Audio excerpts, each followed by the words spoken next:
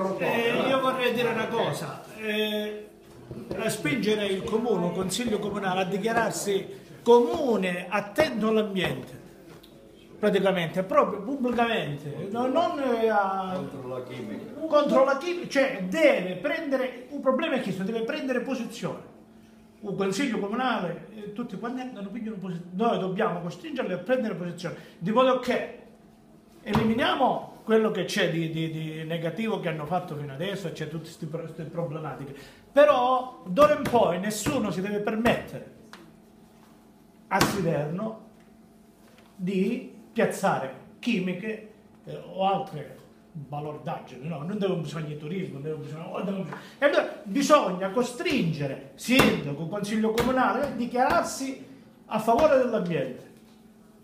Ma co- costringere vuol dire che non incazziamo, ragazzi.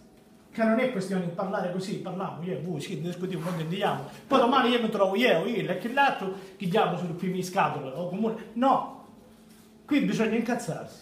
Per me è, stata- è andata bene come cosa. Guarda, io già parlo, già sono incazzato, perché io ho questo problema, ehm, che mi incazzo facilmente quando parlo di determinati argomenti. Se parlo di ambiente, poi...